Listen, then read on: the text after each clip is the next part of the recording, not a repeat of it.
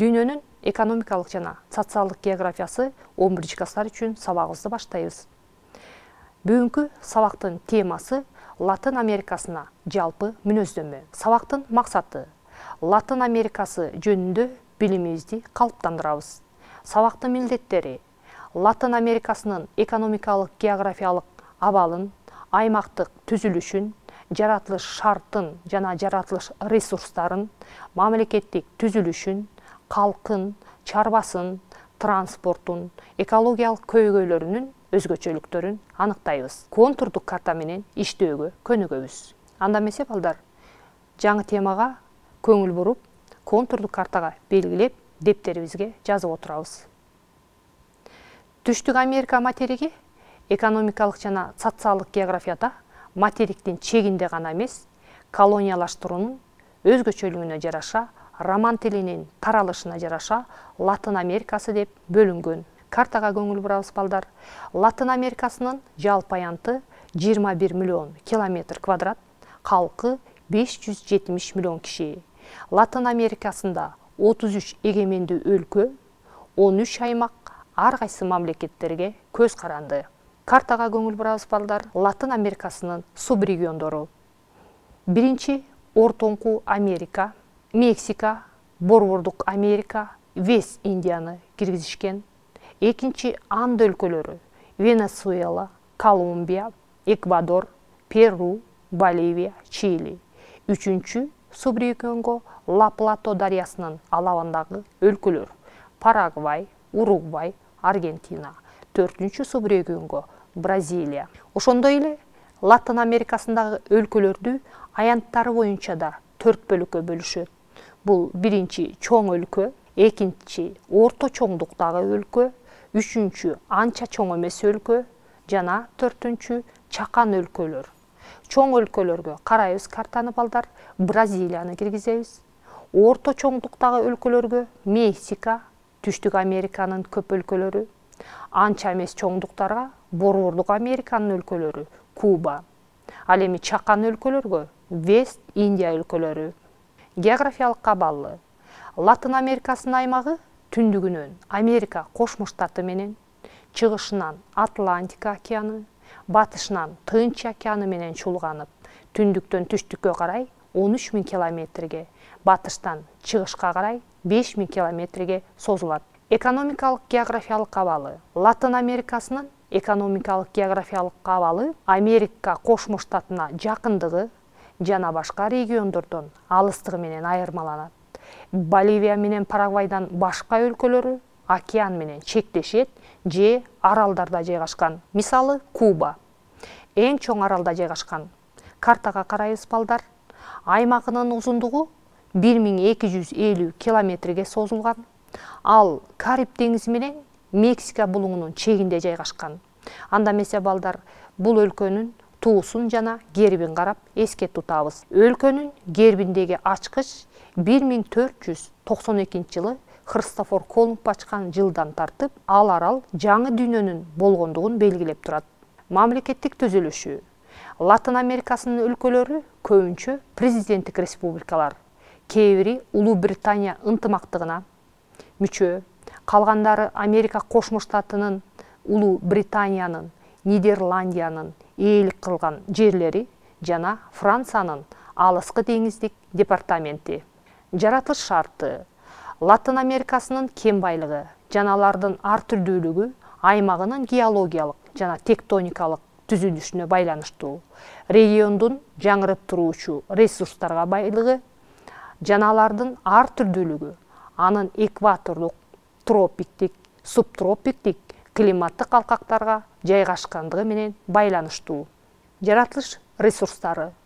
Кен байлыктарынан кара түстүү металл рудалары темир литий молибден жез никель калай алтын күмүш кеңири таралган эң зор нефть жана газ кендери контурдук картага белгилеп отурабыз балдар венесуэла мексика маракайбо кариб деңиздеринде да өндүрүлөт нефть кургактыктан да жана деңиздин түбүнөн да чыгат түштүктөн соккон муздак шамал айыл чарба өсүмдүктөрүн өстүрүүгө көп зыяндарды алып келет сүрөткө карайбыз балдар бул жерде артыкбаш нымдуу жерлер жайгашкан дүйнө боюнча амазонияны карагыла ошондой эле сугатты көп талап кылган жайлар бар.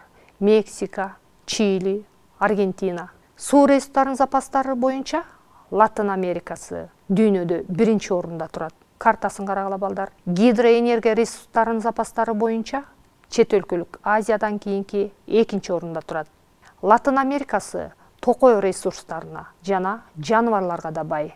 Калкы калктын этностук курамынын түзүлүшүнө үч компоненттин таасири тийген сүрөткө көңүл бурабыз балдар биринчи сүрөттү карайбыз биринчи европалыктар кел электе жашаган жергиликтүү элдер индейлер. Мексикадагы астектер жана майялар. Борбордук андыдагы инктер бүгүнкү күндө калктын он беш пайызын индейлер түзөт. Экинчи сүрөткө көңүл бурабыз. Европалык келгиндер. Испаниядан португалиядан чыккан креолдор. Үчүнчү сүрөткө көңүл бурабыз. Он алтынчы кылымдан тартып плантацияда иштетүү үчүн бразилияга вест индияга кул катары алынып келген африкалыктар бүгүнкү күндө калкынын ондон бир бөлүгүн негрлер түзөт латын америкасынын калкынын жарымынан көбү сүрөткө көңүл бурабыз балдар метистер мулаттар. Тилдери испан португал англис француз нидерланд майя астек аймара. Дини көпчүлүгү католик динин тутушат. Латын америкасы үчүн дуализм маданияты мүнөздүү. Мында өзгөчө индейлердин жана метистердин арасында өз алдынча эски христофор колумбка чейин маданият сакталып калган сүрөттөргө көңүл бурабыз балдар бул мифологиялык жана тарыхый эпостор музыка жана бийлер. Бүткүл дүйнөлүк мурастардын тизмесине киргизилген мексикадагы майя астектердин ак сарайлары жана пирамидалары. Перудагы инктердин чеп шаары мачу пикчу. Карнавалдар родео эң популярдуу оюн футбол. Латын америкасында шаардык агломерациялар калыптанууда сүрөткө көңүл бурабыз балдар чоң мехико өлкөнүн нөл бүтүн ондон беш пайызын ээлеп калкынын бештен бир бөлүгүн камтыйт. Жылына үч жүз миңден ашык мигранттардын эсебинен тез өсүп жатат дагы сүрөткө көңүл бургула балдар. Ири агломерация буэнос айресте латын америка өлкөлөрүнүн калкынын үчтөн бир бөлүгү жашашат мексикада бразилияда аргентинада биринчи мегаполистер калыптана баштады мексиканын борбору мехико аргентинанын борбору буэнос айресте бразилиянын чоң шаары рио де чарбасы өнөр жайы латын америкасынын тоо кен өнөр жайы чоң мааниге ээ анда эмесе балдар картага карайбыз контурдук картага белгилеп да отурабыз кара жана түстүү металлургия нефтин иштетүү латын америкасынын өнөр жайынын бештен төрт бөлүгү үч өлкөгө тийиштүү бразилия мексика аргентина. Бразилияда электроника автомобиль кеме жана самолет куруу жакшы өнүксө мексикада автомобиль станок куруу электротехника жана электроника өндүрүшү алдыда. Аргентинада автомобиль станок куруу жакшы өнүккөн. Айыл чарбасы дыйканчылыгы. Балдар сүрөткө да көңүл буруп отурабыз. Латын америкасынын айыл чарбасында монокультуралык плантациялык чарба мүнөздүү дүйнө боюнча эң ири банан өстүрүү бразилияда коста рикада колумбияда эквадордо. Алынган түшүмдүн баары америка кошмо штатына европага кемелер менен ташылып кетет. Сүрөткө көңүл бурабыз балдар кубада бал камышы монокультура болгон. Азырда иштетилген жердин экиден бир бөлүгүн бал камышы ээлейт. Жүз элүү кант заводунан жылына беш миллион тонна чийки бал чыгат. Бал камышын өстүрүү жана кант чыгаруу кубанын эл аралык адистешүү тармагы. Дыйканчылыгы ири помещиктик чарба колониялык мезгилден бери бразилияда фазенда сүрөткө көңүл бурабыз балдар мексикада гасенда аргентинада эстанция сакталып калган. Мындай ири чарбалар латифундиялар деп аталат. Майда жер иштетүүчүлөр такыр жери жоктор минифундиялар деп аталат. Мал чарбачылыгы аргентиналык пампада эң чоң азык түлүк иштетүүчү агро өнөр жай комплекси калыптанган он тогузунчу кылымдын башында пампанын талааларында гаучу ковбойлору мал жайган жана калк отурташпаган жай болгон азыр пампа аргентина үчүн буудай жүгөрү эт чыгаруучу жерге айланган сүрөткө көңүл бурабыз балдар. Жаш малды кургакчыл пампада ал эми малды семиртүү үчүн нымдуу пампада багылат мына ошондуктан пампаны эттин фабрикасы буэнос айрести эттин борбору же аргентинаны чикагосы дешет транспорту. Латын америкасында автомобиль жана аба жол транспорту жакшы өнүккөн деңиз портунун мааниси жогору. Анткени тышкы соода байланыштары негизинен алар аркылуу жүрөт. Деңиз транспортунун таннажы боюнча дүйнөдө биринчи орунда темир жолу узун бирок техникалык жактан төмөн суу жана куур транспорттору начар өнүккөн экологиялык көйгөйлөрү латын америкасынын жаратылыш шарты адамдын жашоосуна жана чарбачылык ишине ыңгайлуу бирок ал шарт толук пайдаланылбай көбүнчө сарамжалсыз мамиле жасалат кийинки жылдарда айлана чөйрөнү коргоо жана экологиялык кооптуу маселелерге жакшы көңүл бурула баштады. Латын америкасынын жалпы мүнөздөмөсү боюнча тест. Биринчи суроо. Бразилияда дыйканчылык помещиктик чарбаны эмне деп аташат? А. Эстанция. Б. Латифундия. В. Минифундия. Г. Гасенда д фазенда. Туура жообу д фазенда.